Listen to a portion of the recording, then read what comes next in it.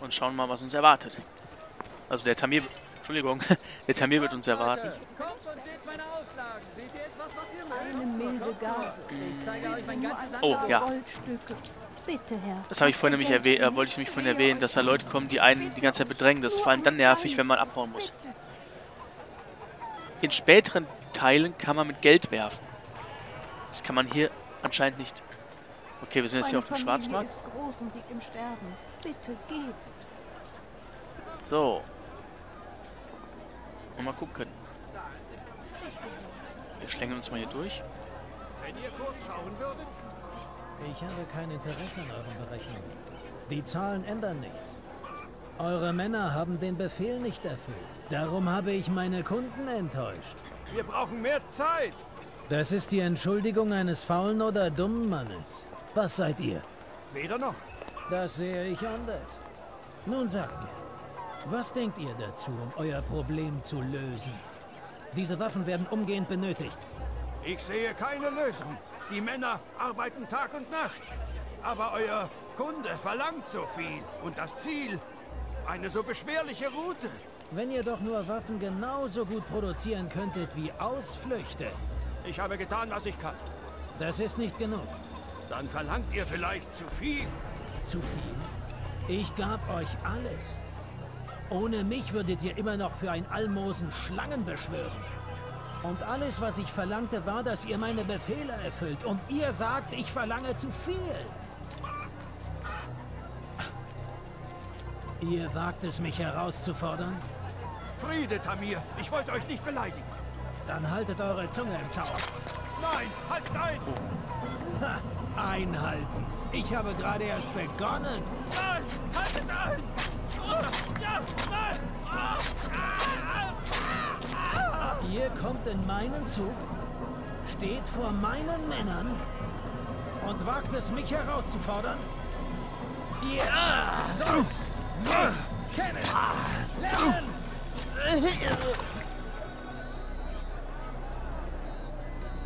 Nein, lasst die Leiche.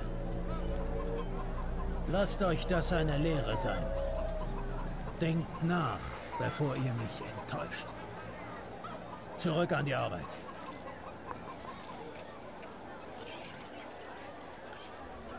Ja, das ist ein ziemlicher Miesepeter.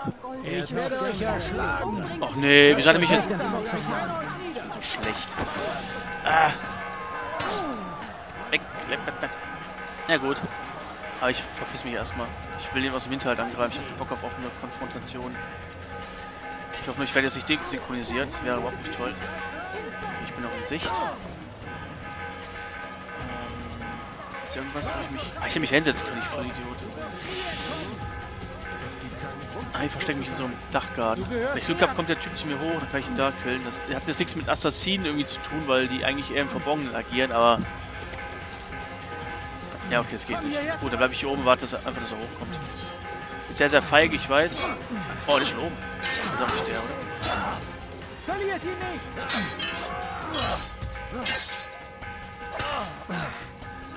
So, runter.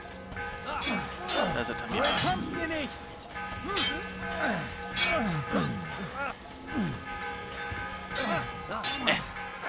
Ich war ein bisschen angespannt, weil ich gleich kurz davor bin zu... Findet Sterben. Frieden. Dafür werdet ihr bezahlen. Ihr und euresgleichen.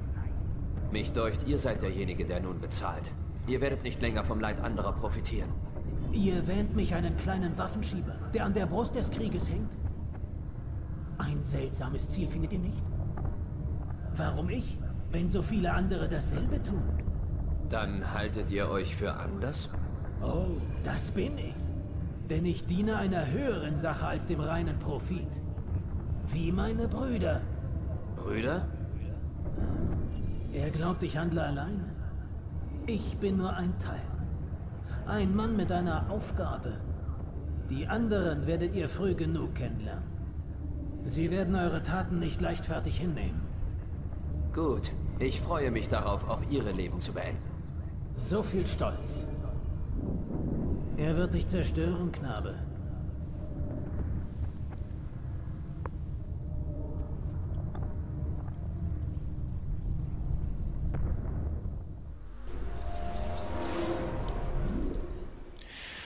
Gehen Sie zurück zum Büro des Verbindungsmanns, wenn Sie anonym sind, um Ihre Mission zu beenden. Oh, wir haben eine, eine Leiste dazu bekommen, links oben. Nein! Oh, Glück gehabt. Ja, also es ist ziemlich aus dem Ruder gelaufen, das Ganze jetzt. Ich hätte eigentlich damit gerechnet, dass die Mission gescheitert ist, weil der Typ mich gesehen hat. War aber glücklicherweise nicht der Fall. Ähm, ja. Also eigentlich ist es ja so, dass die Assassinen das so handhaben, dass sie aus dem Verborgenen angreifen, so von oben auf den draufspringen oder so, aber ich habe einfach nur kläglich... Ist das ein, ist das ein Templer? Nein, das ist kein Templer, alles klar. Kein Problem. Bei Templer habe ich ein bisschen Angst, also ihr wisst auch warum, glaube ich. Ich ja vorhin gesehen. Ach nee, Leute. Bogenschütze! Äh. Äh. Komm, weg. So. so, ach Leute. ich bin auf Quai gebürstet, ich bin jetzt heiß. Ich muss treffen. Okay, sind wir zwei. Ah, das ist gut. Ja, klar kann ich das. Ich bin schon dabei. So, ich töte einfach alle Soldaten in der Stadt. Und dann, äh, ja, habe ich meine Ruhe. Ich möchte mich gerne irgendwo verstecken. Wenn wir so Geächze und Gestöhne von den Soldaten hören, dann heißt das, dass die die Dächer gerade hochklettern. Eigentlich. Normalerweise. Aber irgendwie... Okay. Ich bleib einfach mal hier oben. Hier ist weniger los als auf der Straße. Ja, was ich sagen wollte, ich habe komplett verkackt. Hab den Tamir trotzdem getötet. Dachte aber eigentlich, dass es fehlgeschlagen wäre, weil ich ihn aus Verborgenen töten muss. Weil die letzte Sequenz war ja auch die, dass ähm, der Alter ihr ihn mit der verborgenen Klinge quasi zur Strecke bringt. Also er hat ja so in den reingestoßen quasi. Ja, also ich habe da ziemlich versagt, tut mir leid. Aber gut, wir haben den getötet, das ist die Hauptsache. Oh. Oh, oh, oh, da haben wir einen großen Bogen drum. Da habe ich echt keinen Bock drauf. ähm, ja. Und jetzt haben wir den getötet, hat gesagt, dass er noch ein paar Brüder hat. Und der Alte hat überhaupt keine Ahnung, was es geht. Also. Aber wenigstens hat er seinen Auftrag erfüllt. Und am Ende hat er, habt ihr vielleicht gesehen, mit so einer Feder was, glaube ich, das Blut von ihm quasi so aufge, aufgelesen. Als Beweis wahrscheinlich, dass er den Auftrag beendet hat. Die Kunde eures Sieges hat mich erreicht, Altair. Euch gebühren meine Dankbarkeit und mein Respekt. Habt Dank. Es ist eine Schande, dass die anderen euch immer noch gering schätzen. Rafik, mich kümmert wenig, was die anderen von mir denken. Wie ihr wünscht, Altair. Ihr solltet Al-Mualem von eurem Sieg berichten. Sicher hat er noch weitere Aufgaben für euch. Spule vor zu aktuelleren Gedächtnisabschnitten. Okay. Ja. Cool. Ziel wurde eliminiert. Alles klar. Gut, ein paar Nebenmissionen sind noch offen. Wir sehen da wieder was, was erleuchtet auf der Karte.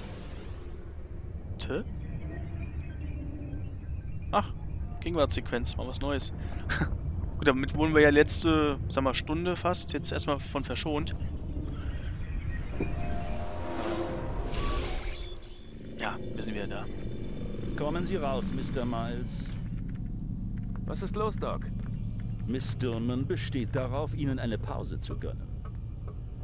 Das ist nett. Ihr könnt euch auf eine Sache riesig freuen schon. Und zwar auf die letzte Szene des Spiels. So viel dazu. die Szene, die war der absolute Hammer. So, aber es wird noch ein paar Parts dauern. Na, verraten Sie mir, wer ihm den Stock in den Hintern geschoben hat? Wir haben eine Deadline. Eine Woche. Nun, sechs Tage noch. Deadline. Ich kann nicht darüber reden. Warum nicht? Mann, versetzen Sie sich in meine Lage. Ich werde von einer Gruppe Wissenschaftler festgehalten und muss den ganzen Tag in irgendeiner Scheißmaschine sitzen. Sie sagen mir nicht, wonach Sie suchen oder wofür Sie es brauchen. Aber ich soll dankbar sein, dass Sie mich am Leben lassen. Das ist doch verrückt. Sorry, Ja. aber so ist es. Was Ja, erwarten Sie? Hm, keine Ahnung, ich weiß es nicht. Wie wär's mit Antworten? Ich kann nicht. Und es ist besser so. Sicherer. Sicherer für wen? Uns beide. Naja, Ah nur Ausflüchte. Hey, ich habe eine Frage, die Sie bestimmt beantworten können. Was? Warum reden die Menschen da drin manchmal so, als kämen sie aus der Zukunft? Zukunft? Ich meine der Gegenwart. Jetzt. Heute. Sie wissen schon. Sie meinen, dass Deutsch die offizielle Sprache des Heiligen Landes ist? Ja, das wollte ich sagen. Der Animus übersetzt alles, was ihm wichtig erscheint, in halbwegs modernes Deutsch. Erwarten Sie also ein paar Anachronismen. Ich könnte es authentischer machen, aber kennen Sie Walter von der Vogelweide? Wen? Gut, dann vergessen Sie es. Cool. Also wir sind anscheinend doch in Deutschland. Nein, also wir sind schon in den USA, aber ja, ist halt immer ein bisschen unglücklich übersetzt, finde ich. Kann man nichts machen. Können Sie mir mehr über Abstergo sagen? Was geht hier vor? Abgesehen von dieser ganzen Entführungsgeschichte. Abstergo ist einer der größten Pharmakonzerne der Welt. Bekannt für seine Antidepressiva. Auf dem PC dort drüben finden Sie mehr. Aber Sie sagten bereits, dass es nicht um Medizin geht. Was ist es also? Diese Entwicklung gefällt mir nicht. Dann kann ich davon ausgehen, dass der Animus nicht in Ihrem Firmenprofil erwähnt wird? Ach, Sie kennen die Werbung nicht? Mein Gott. Die Gute hat Humor. Entschuldigung, Desmond, ich habe viel zu tun. Wie gesagt, wenn Sie mehr über die Firma erfahren möchten, gehen Sie an den PC. Der Telekommunikationssektor ist besonders interessant. Na, der gute Desmond ist so ein kleiner Zyniker. Ah. Hallo? Ich kann mit dir reden. Hallo? Gar nicht müde? Ich gehe schon wieder ins Bett, das kannst du haken. äh, ist das der Computer? Hm. Ah, okay. Ja, Eingang. Ich darf wieder vorlesen. So. Gehen wir hier drauf. Von Ron Vidic ähm, bezüglich... Ah ne, warte mal. Muss ich unten anfangen? Achso, das ist der komplette Ver Verlauf. Hier. Lucy Stillman an Vaughn Vidic, betreff Layla. 3. September, 21.05 Uhr. Sie sagten ihm etwas von Enden wie Layla. Was meinten Sie damit? Oder Layla? Lucy. Äh. Nichts. Zurück an die Arbeit bitte. Es gibt eine Deadline. PS, warum unterzeichnen Sie Ihre E-Mails? Oben steht doch, von wem sie ist.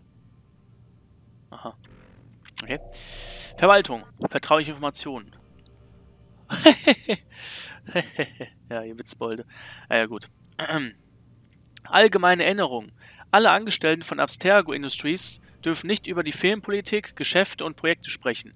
Im Zusammenhang mit dem laufenden Gerichtsverfahren möchten wir Sie alle an § 215 Ihrer Arbeitsverträge erinnern. Sie erkennen an und stimmen damit überein, dass Abstergo durch die Investition von Zeit, Arbeit und Geldmitteln vertrauliche Informationen entwickelt hat und dass diese vertraulichen Informationen Abstergo mit einem erheblichen Wettbewerbsvorteil ausstatten.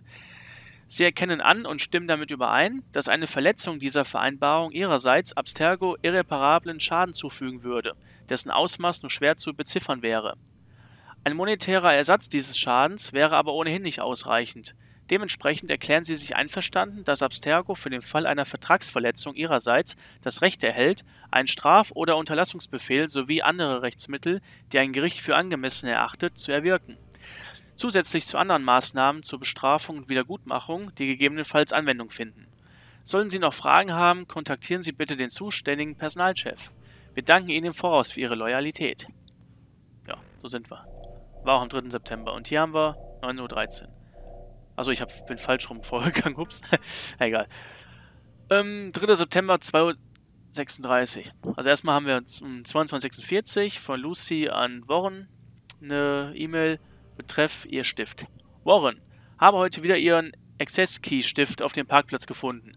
Sie müssen den wirklich in der Hosentasche aufbewahren, nicht außen an der Kleidung tragen. Kümmern Sie sich besser um Ihre Sachen, Warren. Stellen Sie sich vor, die Sicherheitsleute hätten ihn gefunden dann hätten die mindestens einen Tag gebraucht, um alle Zugangscodes neu zu programmieren. Lucy. So, Antwort um 2.36 Toll, legen Sie auf meinen Schreibtisch. Kümmern Sie sich weniger um meine Sachen und mehr darum, den Animus ans Laufen zu bringen. Danke. Bitte. Gut, alles klärchen. Dann. Ja, haben wir das doch. Gelesen. Toll, schön. Ähm, ja, ist das der Computer, den sie meinte? Oh, ich fürchte, das ist nicht der Computer, den sie meinte. Oh, oh. Oh oh. Äh. Ich glaube nicht, dass der Warren möchte, dass wir an seinen Computer gehen. Das wäre auch von der Lucy sehr fahrlässig. Nee, alles gut. Dann war das wohl der Computer, oder? Weil sonst ist ja keiner. Kann ich mit der reden? Wieder? Hallo? Information mit der wieder teilen? Kann nicht reden, hab zu tun. Hm, doch nicht. Ja, gut. Ich noch irgendwas machen hier? Nö, ich kann nur die E-Mails lesen. Alles klar, ist da irgendwas? Nö. Nö. Da ist der Typ reingegangen, dann gehen wir wieder ins Bett. Und wir gehen wieder duschen. Mit Klamotten. Ist hier irgendwas, was ich irgendwie lesen könnte? Hallo? Ne, wir legen uns ins Bett.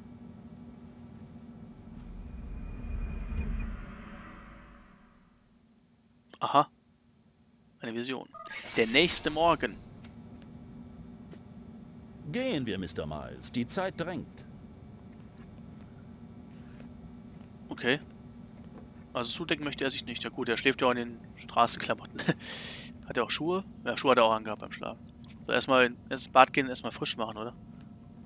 Wie sind wir dann hier? So. So, sind frisch. Fertig. Gut, ähm... Mann, Interagieren? ich kann mich nicht mal umziehen. Ach so, immer noch nicht. Okay. Das ist auch ein bisschen traurig, weil irgendwann müffelt's doch. Ich weiß nicht, ob man unterm Animus auch schwitzt. Ich schätze mal schon, oder? Wo ist Lucy? Keine Sorge, sie wird bald bei uns sein. Also warum tun Sie das, Doc?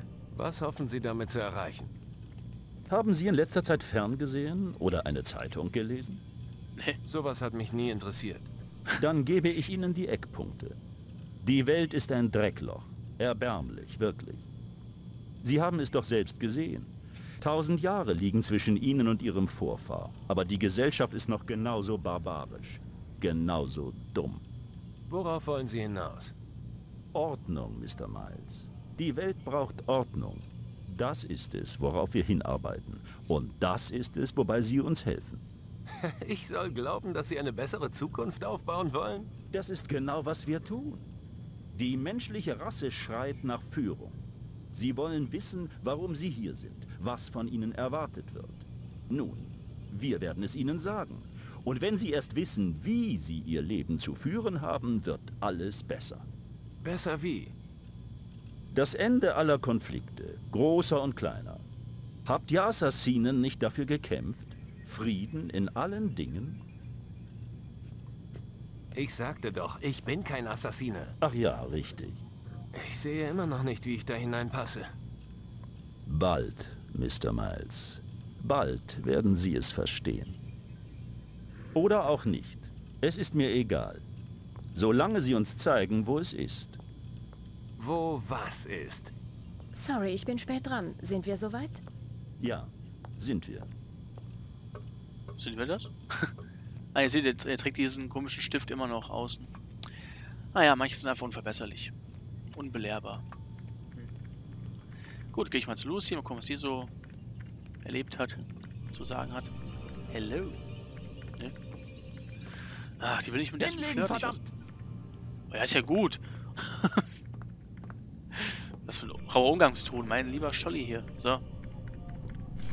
Ah, mal Ründchen Eier machen. So, ich denke mal, wir können jetzt manuell auswählen, oder? Das wäre total toll, weil... Ja, wir können manuell auswählen. Super. Ähm, wir sehen jetzt hier Gedächtnisabschnitt 1, machen wir fertig mit. Gedächtnisabschnitt 2, aber nicht fertig. Äh, Wenn Sie bereit sind, wählen Sie einfach die Erinnerung, die Sie besuchen möchten. Ich will mal gerade was nachschauen, ob das geht. Ja, geht. Also, Attentat komplett. Ja, was haben wir hier? Aussichtspunkte. Okay, die müssen wir noch machen.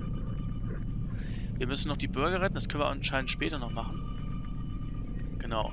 Das waren die Nachforschung und das Wissen, dass wir da einfach Dinge nachgeforscht haben. Oh. Oh. Können wir anfangen, Desmond? Äh, nein. Nein. Ah, okay. Ähm, ähm, ähm, ähm. Okay. Ist egal, ich werde auf jeden Fall die Aufnahme jetzt erstmal beenden. Ich bedanke mich recht herzlich bei euch für euer Interesse, dass ihr zugeschaut habt. Und ja, ich würde sagen, nächstes Mal wissen wir schon... Moment, gucken, ob wir es schon wissen. Ne, Aufnahme Abschnitt 3. Verschwenden Sie keine Zeit und fangen Ist Sie ja an. Mr. Miles. Gut, ähm, ich würde die Dinger, denke ich mal... Ja, so viel sind ja gar nicht.